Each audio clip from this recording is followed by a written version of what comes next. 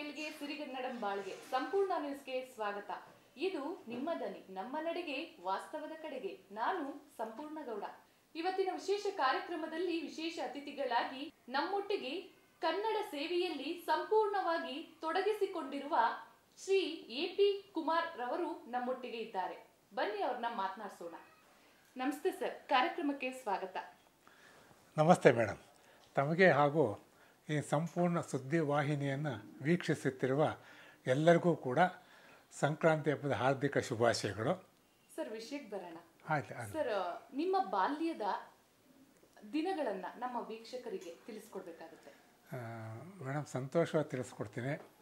ಯಾಕೆಂದರೆ ಜನನಿ ಜನ್ಮಭೂಮಿಶ ಸ್ವರ್ಗಾದಪಿ ಗರಿಯಸಿ ಅಂತ ಶ್ರೀರಾಮ ಹೇಳಿದ್ದಾನೆ.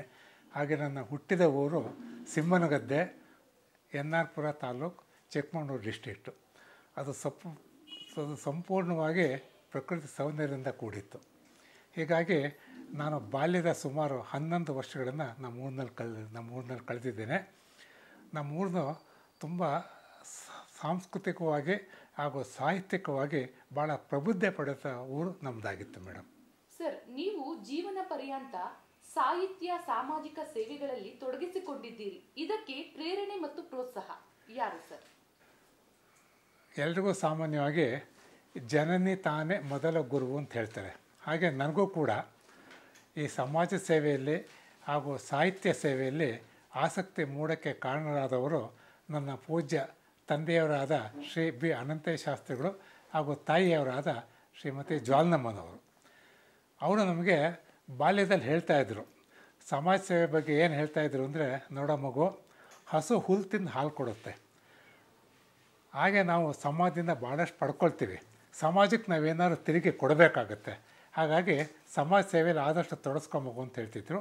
ಇನ್ನು ಸಾಹಿತ್ಯ ಸೇವೆಗೆ ಕಾರಣ ನಾವು ಬಾಲ್ಯದಲ್ಲಿ ಸಂಜೆ ಆಟ ಮುಗಿಸ್ಕೊಂಡ ತಕ್ಷಣ ಕೈಕಾಲು ಮುಖ ತೊಳ್ಕೊಂಡು ನಮ್ಮನೆ ನಡುಮನೆಯಲ್ಲಿ ಎಲ್ಲ ಸೇರ್ತಾಯಿದ್ವಿ ನಮ್ಮ ತಂದೆಯವರು ಈ ಜೈಮಿನಿ ಭಾರತ ಪಂಪ ಭಾರತ ವಿಕ್ರಮಾರ್ಜುನ ವಿಜಯ ಇಂಥ ಗ್ರಂಥಗಳನ್ನು ಹಿಡ್ಕೊಂಡು ನಮಗೆ ಗಮಕ ಶೈಲಿಯಲ್ಲಿ ರಾಗವಾಗಿ ಹೇಳಿ ಅರ್ಥಗಳನ್ನು ಹೇಳ್ತಾಯಿದ್ರು ಹಾಗೂ ಐತಿಹಾಸಿಕ ಪುರಾಣ ಪುರುಷರ ಕಥೆಗಳನ್ನು ಹೇಳಿ ನಮಗೆ ಆದರ್ಶವನ್ನು ನಮ್ಮ ಬದುಕಿನಲ್ಲಿ ತುಂಬ್ತಾಯಿದ್ರು ಮೇಡಮ್ ಇದು ನನಗೆ ಪ್ರೇರಣೆ ಆಯಿತು ಮೇಡಮ್ ಬಾಲ್ಯದಲ್ಲಿ. ಸರ್ ನಿಮ್ಮ ಸೇವಾ ಕ್ಷೇತ್ರಗಳ ಬಗ್ಗೆ ಸ್ವಲ್ಪ ವಿವರ ಕೊಡಿ ನಮ್ಮ ವೀಕ್ಷಕರಿಗೆ. ಇದರ ನಂತರ ನಾನು ಭದ್ರಾವತಿ ಬಂದೆ ಮೇಡಮ್ ಭದ್ರಾವತಿ ಬಂದಾಗ ಸ್ವಲ್ಪ ನಾನು ಪ್ರೌಢಾವಸ್ಥೆಗೆ ಬಂದಿದ್ದೆ. ಅವಾಗ ನಾಡಿನ ಪತ್ರಿಕೆಗಳ ಮೂಲಕ ಅವಾಗ ರೇಡಿಯೋ ಇದ್ದು ಟೆಲಿವಿಷನ್ ಇರಲಿಲ್ಲ. ಪತ್ರಿಕೆಗಳ ಮೂಲಕ, ರೇಡಿಯೋದ ಮೂಲಕ ಅನೇಕ ಸಮಾಜ ಸೇವಕರ ಏನು ಸೇವೆಯನ್ನು ನಾನು ಕೇಳ್ತಾ ಇದ್ದೆ, ಪತ್ರಿಕೆಗಳಲ್ಲಿ ಓದ್ತಾ ಇದ್ದೆ. ವಿಶೇಷವಾಗಿ ಧರ್ಮಸ್ಥಳದ ಶ್ರೀ ಧರ್ಮಾಧಿಕಾರಿ ಶ್ರೀ ವೀರೇಂದ್ರ ಹೆಗ್ಗಡೆಯವರ ಒಂದು ಸಮಾಜ ಸೇವಾ ಕ್ಷೇತ್ರ ನನ್ನನ್ನು ಭಾಳ ಆಕರ್ಷಿಸಿತು. ಸೊ ಅವರು ಮಾಡೋ ದಾರಿಲಿ ನಾನು ಹೋಗಬೇಕು ಅಂತ ಒಂದು ಅಂದ್ಕೊಂಡೆ ಅವರಷ್ಟು ಸಮುದ್ರಷ್ಟು ಪ್ರಮಾಣ ಆಗದಿದ್ರು ಕೂಡ ಸಾಸಿವೆ ಕಾಳಿನಷ್ಟಾರು ಒಂದು ಸೇವೆ ಮಾಡಬೇಕು ಅಂತ ಹೇಳ್ಬಿಟ್ಟು ನನ್ನ ಮನಸ್ಸಿಗೆ ಬಂತು ಮೇಡಮ್ ಅಂದಿಂದ ನಾನು ಈ ಸಮಾಜ ಸೇವೆಯಲ್ಲಿ ಹೆಚ್ಚು ನನ್ನ ತೊಡಗಿಸ್ಕೊಂಡೆ ಮೇಡಮ್ ಸರ್ ನಿಮ್ಮ ಸೇವೆ ಕ್ಷೇತ್ರಗಳ ಬಗ್ಗೆ ಸ್ವಲ್ಪ ವಿವರ ಕೊಡಿ ನಮ್ಮ ವೀಕ್ಷಕರಿಗೆ. ಖಂಡಿತವಾಗಿ ಮೇಡಮ್ ನಾನು ಭದ್ರಾವತಿ ಬಂದಾಗ ಸ್ವಲ್ಪ ಪ್ರೌಢಾವಸ್ಥೆಗೆ ಬಂದಿದ್ದೆ. ಅವಾಗ ಏನಾದರೂ ಸಾಹಿತ್ಯ, ಸಮಾಜ ಸೇವೆ ತೊಡಗಿಸ್ಕೋಬೇಕು ಅನ್ನೋ ಒಂದು ತುಡಿತ ನನ್ನ ಮನಸ್ಸಿನಲ್ಲಿತ್ತು. ವಿಶೇಷವಾಗಿ ವೀರೇಂದ್ರ ಹೆಗ್ಡೆಯವರು ನನಗೆ ಆದರ್ಶವಾಗಿದ್ದರು ಆ ಕಾಲದಲ್ಲಿ. ಅದರಂತೆ ನಾನು ಸ್ವಲ್ಪ ಸಾಮಾಜಿಕ ಸಾಹಿತ್ಯ ಸೇವೆಯಲ್ಲಿ ತೊಡಗಿಸ್ಕೊಳ್ತಾ ಬಂದೆ.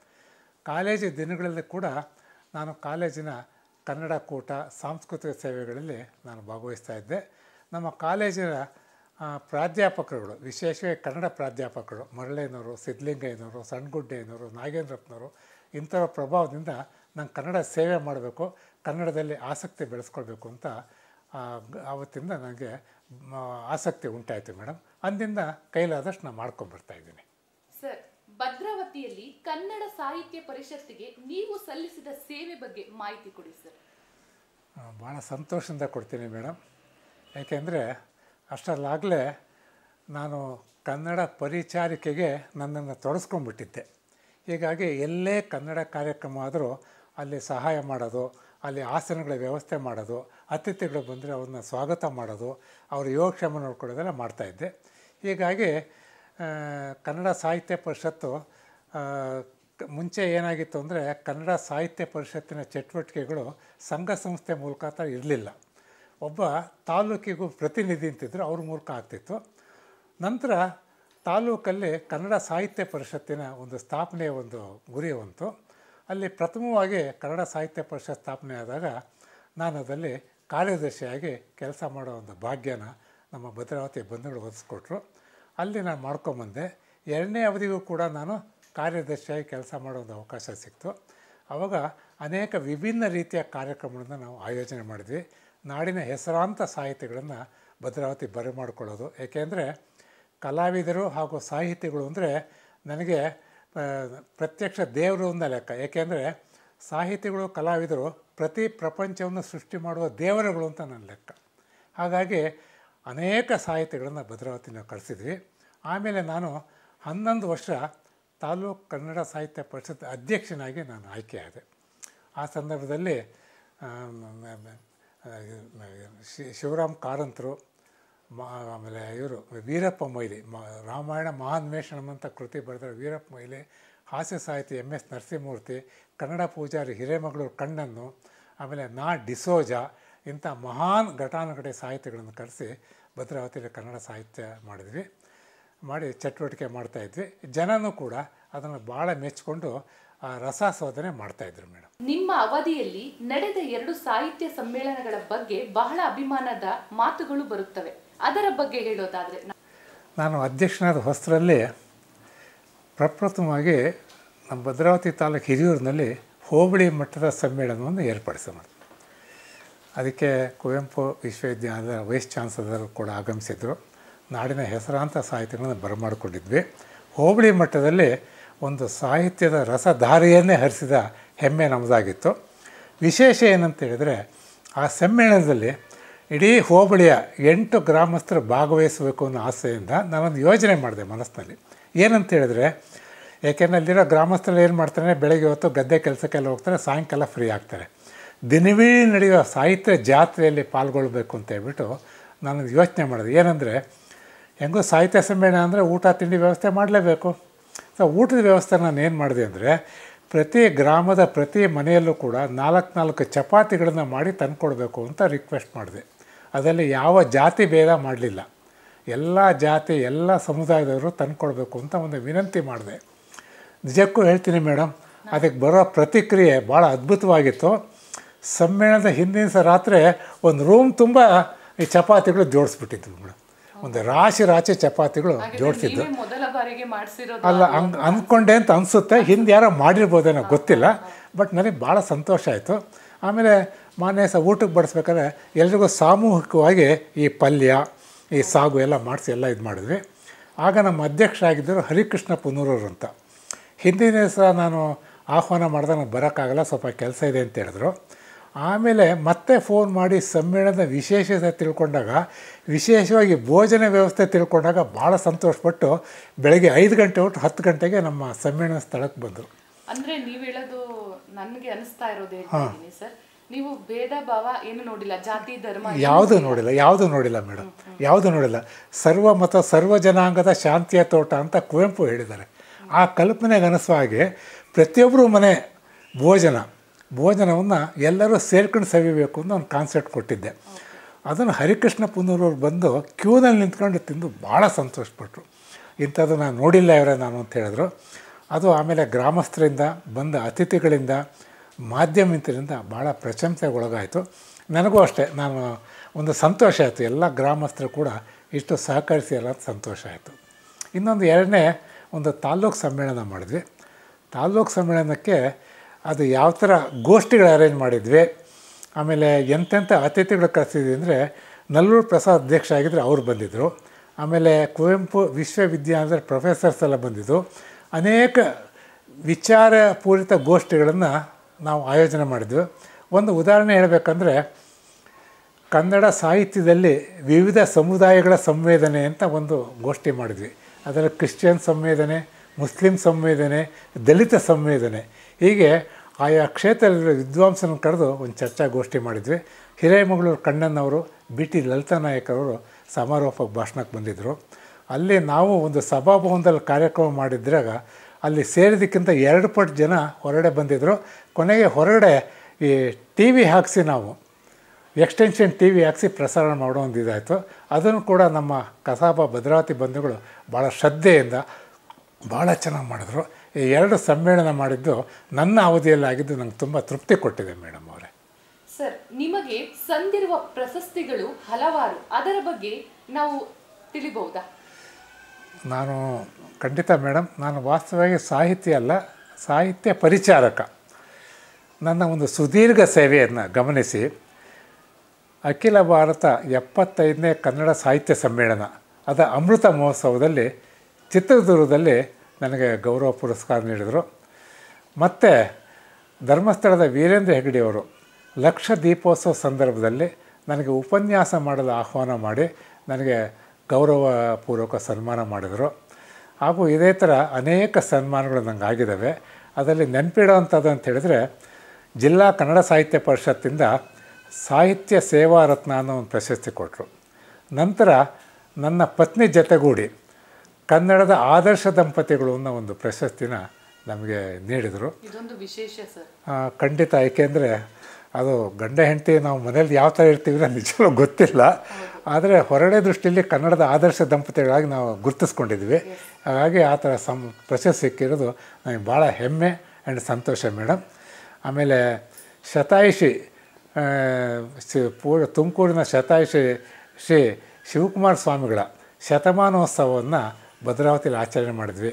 ಆಗ ಪೂಜ್ಯ ಗುರುಗಳ ಅಮೃತ ಹಸ್ತದಿಂದ ನನಗೆ ಸನ್ಮಾನ ಆಗಿದ್ದು ಜೀವನದಲ್ಲಿ ತಂದ ದೊಡ್ಡ ಗೌರವ ಅಂತ ನಾನು ತಿಳ್ಕೊಂಡಿದ್ದೀನಿ.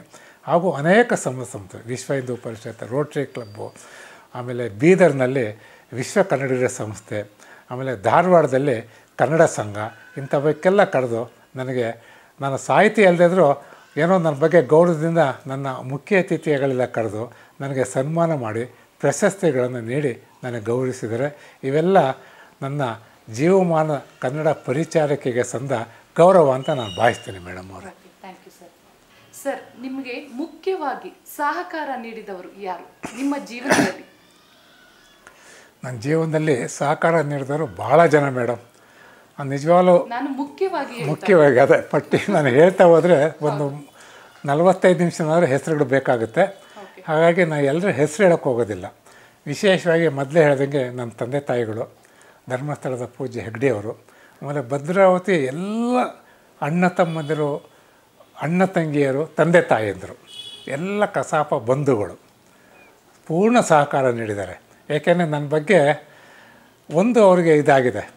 ಏನಂದರೆ ನಾನು ಬಿರುಸು ನುಡಿಗಳನ್ನ ಆಡ್ತಿರಲಿಲ್ಲ. ಯಾರ ಮೇಲೂ ಕೋಪ ಮಾಡ್ಕೊಳ್ತಿರ್ಲಿಲ್ಲ. ಯಾರು ಸ್ವಲ್ಪ ಜೋರ ಮಾತಾಡಿದ್ರೆ ಆಯಿತು ಬಿಡಿಯೋಣ ಹೀಗೆ ಆಗಲಿ ಅಂತ ಹೇಳ್ಕೊಂಡು ಹೋಗ್ತಾ ಇದ್ದೆ. ಹಾಗಾಗಿ ನನ್ನ ಬಗ್ಗೆ ಇಡೀ ಭದ್ರಾವತಿಲೊಂದು ಏನು ಮೃದು ಭಾವನೆ ಬೆಳೆದಿತ್ತು. ನಾನು ಏನೇ ಮಾಡಿದ್ರು ಕೂಡ ನಮ್ಮ ಕುಮಾರಣ್ಣ ಒಳ್ಳೆ ಕೆಲಸ ಮಾಡ್ತಾರೆ ಅಂತ ಒಂದು ಸಪೋರ್ಟ್ ಮಾಡ್ತಿರೋರು. ಮಾಧ್ಯಮ ಮಿತ್ರರು ತುಂಬ ಸಹಕಾರ ಕೊಟ್ಟರು ಆಮೇಲೆ ಕನ್ನಡ ಸಾಹಿತ್ಯ ಪರಿಷತ್ತಿನ ಬಂಧುಗಳು ಅಷ್ಟೇ. ನಮ್ಮ ಯಾಕೆಂದರೆ ಕಾರ್ಯಕಾರಿ ಸಮಿತಿಯಲ್ಲಿ ಯಾರ್ಯಾರು ಇರ್ತಾರೆ, ಅವರೆಲ್ಲ ತುಂಬ ಸಹಕಾರ ಕೊಟ್ಟರು ಆಮೇಲೆ ಕುಟುಂಬಸ್ಥರು. ಕೊನೆಗೆ ಹಾಗೆ ವಿಶೇಷವಾಗಿ ಒಬ್ಬರಿಗಂತ ನಾನು ತುಂಬ ಧನ್ಯವಾದ ಹೇಳಲೇಬೇಕು. ಏಕೆ ಅಂತ ಹೇಳಿದರೆ, ನಾನು ಹಗಲಿರುಳು ಕನ್ನಡ ಸೇವೆ ಮಾಡ್ತಿರ್ಬೇಕಾದ್ರೆ, ನನ್ನ ಕುಟುಂಬದ ಜವಾಬ್ದಾರಿಯನ್ನು ನಿಜವಾದ ಅರ್ಥದಲ್ಲಿ ಸಹಧರ್ಮಿಯಾಗಿ ನಡೆಸ್ತವಳು ನನ್ನ ಪತ್ನಿ ಡಾಕ್ಟರ್ ಹೆಚ್ ಡಿ ಜಯಪದ್ಮರವರು ಯಾಕೆಂದರೆ ಅವ್ರ ಸಹಕಾರ ಇಲ್ಲದಿದ್ದರೆ ನಾನಿಷ್ಟು ಸಾಹಿತ್ಯ ಪರಿಷತ್ತಲ್ಲಿ ಸೇವೆ ಮಾಡೋಕ್ಕಾಗ್ತಿರಲಿಲ್ಲ ನನ್ನ ಮನೆ ಮನ ಬೆಳಗಿದ, ಮನೆಯೊಡತಿ ಹಾಗೂ ಮನ ಮನದೊಡತಿ ಆಕೆ. ಆಕೆ ಅವಳಿಗೆ ಮಾತ್ರ ವಿಶೇಷ ಧನ್ಯವಾದಗಳನ್ನು ಅರ್ಥಿಸಲಿಕ್ಕೆ ನಾನು ಇಷ್ಟಪಡ್ತೇನೆ. ಇನ್ನು ಉಳಿದಂತೆ ಎಲ್ಲ ಮಠ ಮಾನ್ಯರುಗಳು ಅವರ ಆಶೀರ್ವಾದಗಳು.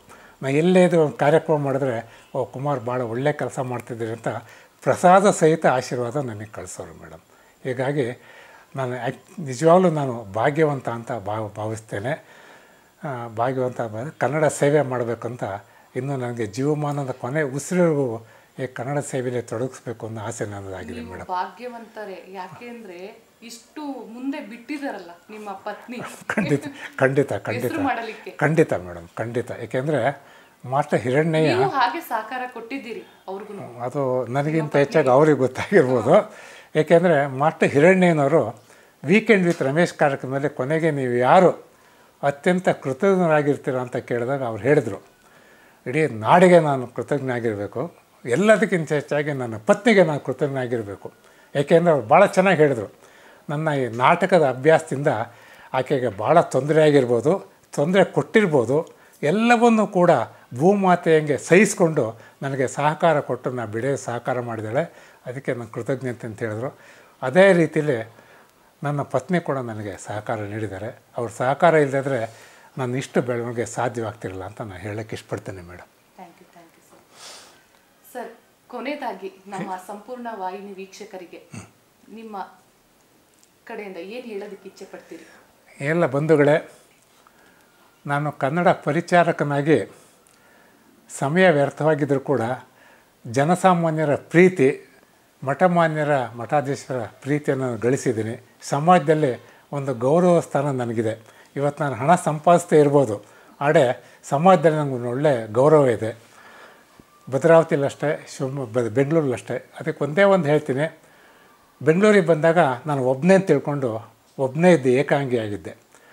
ಆದರೆ ನನಗೊಂದ್ಸರಿ ಈ ವಾಯುವಿಹಾರ ಮಾಡ್ತಿರ್ಬೇಕಾದ್ರೆ ನಮ್ಮ ಚಿತ್ರರಂಗದ ಗುರು ಶಶಾಂಕ್ ಅನ್ನೋರು ನನಗೆ ಪರಿಚಯ ಆದರು.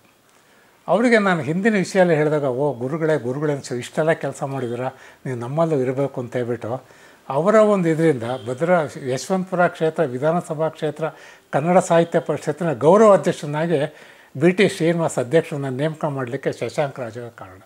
ಯಾಕೆ ಹೇಳಿದೆ ಅಂತ ಹೇಳಿದ್ರೆ ನಾನು ಮಾಡಿರೋ ಸೇವೆಗೆ ಫಲ ಎಲ್ಲಿದ್ದು ದೊರಕುತ್ತೆ ಅಂತ ಹೇಳೋದಕ್ಕೆ. ಇಲ್ಲೂ ಕೂಡ ನಾನು ಅಳಿದ ಸೇವೆ ಸಲ್ಲಿಸಿದ್ದೀನಿ ಮೇಡಮ್ ಹಾಗೆ ಬಂಧುಗಳೇ ನಾಡು ನುಡಿ ಸೇವೆಗೆ ಸದಾ ನೀವು ಮುಂದಿರಿ. ಖಂಡಿತ ನಿಮಗೆ ಒಳ್ಳೆಯದಾಗುತ್ತೆ ಅಂತ ಹೇಳ್ತಾ ಕೊನೆಯಲ್ಲಿ ನಮ್ಮ ಕರ್ನಾಟಕ ನಾಡು, ಕನ್ನಡ ನಾಡು ಅತ್ಯಂತ ಶ್ರೇಷ್ಠ ಪರಂಪರೆ ಹೊಂದಿದೆ. ಮನುಜ ಕುಲಂ ಅಂತ ಸಾರಿದ ಪಂಪ ನಮ್ಮ ಆದಿ, ನಮ್ಮ ಆದಿಕವಿ ಆಮೇಲೆ ಇವತ್ತು ಅಂಕುರಾರ್ಪಣೆ ಆಗಿದೆಯಾ? ಇಡೀ ವಿಶ್ವದ ಪ್ರಥಮ ಸಂಸತ್ ಅನುಭವ ಮಂಟಪದ ಸಂ, ಶಂಕುಸ್ಥಾಪನೆ ಇವತ್ತಾಗಿದೆ. ಆ ಹೆಮ್ಮೆ ನಮ್ಮ ಕನ್ನಡಿಗರಿದ್ದು. ಆಮೇಲೆ ಕುವೆಂಪು ಏನು ಹೇಳಿದ್ದಾರೆ? ಕನ್ನಡಕ್ಕಾಗಿ ಕೈ ಎತ್ತು ನಿನ್ನ ಕೈ ಕಲ್ಪವೃಕ್ಷವಾಗುತ್ತೆ ಅಂತ. ಆಗುತ್ತೆ ಏನು ಅದು ನಮ್ಮ ಧ್ಯೇಯವಾಕ್ಯವಾಗಿರಬೇಕು. ಎಲ್ಲಾದರೂ ಇರು ಎಂತಾದರೂ ಎಂದೆಂದಿಗೂ ನೀ ಕನ್ನಡವಾಗಿರು ಅಂತ ಕುವೆಂಪು ಕರೆ ಕೊಟ್ಟಿದ್ದಾರೆ. ಆ ರೀತಿ ಇರೋಕ್ಕೆ ನಾವೆಲ್ಲ ಇರೋಣ ಅಂತ. ಅದನ್ನೇ ತಮ್ಮಲ್ಲೂ ಕೂಡ ನಾನು ಅರಿಕೆ ಮಾಡ್ಕೊಳ್ತಾ, ಈ ಅಲ್ಪನ ಮಾತುಗಳಲ್ಲಿ ಏನಾದರೂ ತಪ್ಪಾಗಿದ್ದರೆ ದಯವಿಟ್ಟು ಕ್ಷಮಿಸಬೇಕು. ಇಡೀ ಕನ್ನಡಿಗರು ಕ್ಷಮಾಶೀಲರು, ಹೃದಯವಂತರು ನನ್ನ ಸಂಪೂರ್ಣ ಕ್ಷಮಿಸಬೇಕಂತ ಕೇಳ್ಕೊಳ್ತಾ ಈ ಅಲ್ಪನ ಸಂದರ್ಶನವನ್ನು ಸಂಪೂರ್ಣವಾಗಿ ಮಾಡಿದ ಸಂಪೂರ್ಣ ಟಿ ವಿ ವಾಹಿನಿಯ ಸಂಪೂರ್ಣ ಮೇಡಮ್ನವರಿಗೆ ಹಾಗೂ ಸಮಾಜದಿಂದ ಆಲಿಸಿದ ಎಲ್ಲ ವೀಕ್ಷಕ ಬಂಧುಗಳಿಗೆ ಮತ್ತೊಮ್ಮೆ ನನ್ನ ವಂದನೆಗಳನ್ನು ಅರ್ಪಿಸ್ತೇನೆ. ನಮಸ್ತೆ ಮೇಡಮ್ ಸರ್ ಇದೇ ತಿಂಗಳು ಇಪ್ಪತ್ತ್ ಮೂರರಂದು ನಡೆಯಲಿರುವ ಸಾಹಿತ್ಯ ಸಮ್ಮೇಳನಕ್ಕೆ ಅಧ್ಯಕ್ಷರಾಗಿ ಆಯ್ಕೆಯಾಗಿದ್ದೀರಿ. ನಮ್ಮ ವಾಹಿನಿ ಸಂಪೂರ್ಣ ನ್ಯೂಸ್ ಪರವಾಗಿ ಅಭಿನಂದನೆಗಳು. ಧನ್ಯವಾದ ಮೇಡಮ್ ಇದರ ಬಗ್ಗೆ ನಿಮ್ಮ ಅನಿಸಿಕೆ ಸರ್? ನನಗೆ ಭಾಳ ಸಂತೋಷ ಆಗ್ತಾಯಿದೆ ಏಕೆಂದರೆ ಒಂದು ಕನ್ನಡ ಸಾಹಿತ್ಯ ಸಮ್ಮೇಳನದ ಅಧ್ಯಕ್ಷರಾಗೋದು ಒಬ್ಬ ವ್ಯಕ್ತಿಯ ಸೇವೆಗೆ ಸಂದ ಬಹು ದೊಡ್ಡ ಗೌರವ ಅಂತ ನಾನು ತಿಳ್ಕೊಳ್ತೀನಿ. ತಮಗೆ ನಾನು ಮೊದಲೇ ಹೇಳಿದೆ, ನಾನು ಸಾಹಿತಿ ಅಲ್ಲ, ಸಾಹಿತ್ಯ ಪರಿಚಾರಕ ಅಂತ. ಸುಮಾರು ಮೂವತ್ತೈದು ವರ್ಷಗಳ ಕಾಲ ಭದ್ರಾವತಿಯಲ್ಲಿ ಸತತವಾಗಿ ನನ್ನ ತಿಳಿದ ಮಟ್ಟಿಗೆ ಕನ್ನಡ ಸಾಹಿತ್ಯ ಪರಿಷತ್ಗೆ ಕನ್ನಡ ಸಾಹಿತ್ಯಗೆ ಸಾಹಿತಿಗಳ ಪರವಾಗಿ ಹಾಗೂ ಕನ್ನಡ ಸಾಹಿತ್ಯಕ್ಕೆ ಕನ್ನಡ ನಾಡು ನುಡಿಗೆ ಅನೇಕ ಚಳುವಳಿಯಲ್ಲಿ ಕೂಡ ಪಾಲ್ಗೊಂಡಿದ್ದೇನೆ. ಗೋಕಾಕ್ ಚಳುವಳಿ ಇರ್ಬೋದು, ಇತ್ತೀಚೆಗೆ ಮಹದಾಯಿ ಚಳುವಳಿ ಆಗಿರ್ಬೋದು, ಇನ್ನು ಮಧ್ಯಂತರ ಬಂದ ನಾಡು ನುಡಿಗೆ ಕಾವೇರಿ ಚಳುವಳಿ ಆಗಿರ್ಬೋದು ಎಲ್ಲದರಲ್ಲೂ ನಾನು ಭಾಗವಹಿಸಿ ನನ್ನ ಸೇವೆಯನ್ನು ಸಲ್ಲಿಸಿದ್ದೇನೆ.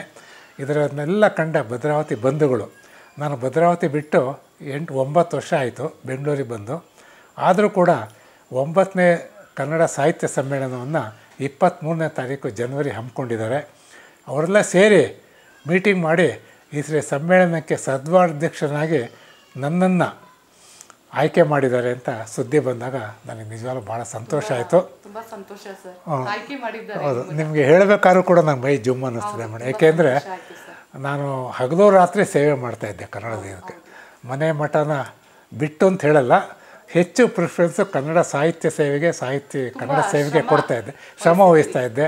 ಆಗ್ತಾ ಇದ್ದೆ. ಆಗ ಅವರು ನನಗೆಲ್ಲ ದೂರವಾಣಿ ಮೂಲಕ ವಿಷಯ ತಿಳಿಸಿದಾಗ ನಮ್ಮ ಮೈ ಮನ ಸ್ಫುರಣಗೊಂಡಿತು. ನನಗೆ ಭಾಳ ಸಂತೋಷ ಆಯಿತು. ನಾನು ಇಷ್ಟು ವರ್ಷ ಸೇವೆ ಮಾಡೋದಕ್ಕೆ ಒಂದು ನನಗೆ ಗೌರವ ಸಿಕ್ಕಂಗಾಯಿತು ಅಂತ ನನಗೆ ಭಾಳ ಸಂತೋಷ ಆಯಿತು ಮೇಡಮ್ ಓಕೆ. ಸರ್ ನೀವಿಷ್ಟೊತ್ತು ಎಲ್ಲ ನಿಮ್ಮ ವಿಚಾರಗಳನ್ನು ನಮ್ಮೊಟ್ಟಿಗೆ ಹಂಚ್ಕೊಂಡಿದ್ದಕ್ಕೆ ತುಂಬ ಧನ್ಯವಾದಗಳು ಸರ್. ತಮಗೂ ಧನ್ಯವಾದಗಳು ಮೇಡಮ್ ಮತ್ತೊಮ್ಮೆ ವೀಕ್ಷಕರಿಗೂ ಧನ್ಯವಾದಗಳು. ಸಿರಿಗನ್ನಡಮ ಗೆಲ್ಗೆ ಜೈ ಕರ್ನಾಟಕ ಮಾತೆ. ನೋಡಿದ್ರಲ್ಲ ವೀಕ್ಷಕರೇ ಇದೇ ಇವತ್ತಿನ ವಿಶೇಷ ಕಾರ್ಯಕ್ರಮವಾಗಿತ್ತು. ಮುಂದಿನ ಸಂಚಿಕೆಯಲ್ಲಿ ಮತ್ತೊಬ್ಬರ ವಿಶೇಷ ಅತಿಥಿಗಳೊಂದಿಗೆ ನಿಮ್ಮ ಮುಂದೆ ಹಾಜರಾಗುತ್ತೇವೆ. ವೀಕ್ಷಕರೇ ನೀವಿನ್ನೂ ಸಂಪೂರ್ಣ ನ್ಯೂಸ್ಗೆ ಸಬ್ಸ್ಕ್ರೈಬ್ ಆಗದಿದ್ದಲ್ಲಿ ಈ ಕೂಡಲೇ ಸಬ್ಸ್ಕ್ರೈಬ್ ಆಗಿ ಪಕ್ಕದಲ್ಲಿರುವ ಬೆಲ್ ಐಕಾನ್ ಕ್ಲಿಕ್ ಮಾಡುವುದನ್ನು ಮರೆಯಬೇಡಿ. ಧನ್ಯವಾದಗಳು. ಸಂಪೂರ್ಣ ನ್ಯೂಸ್ ಯೂಟ್ಯೂಬ್ ಚಾನಲ್ಗೆ ಸಬ್ಸ್ಕ್ರೈಬ್ ಆಗಿ.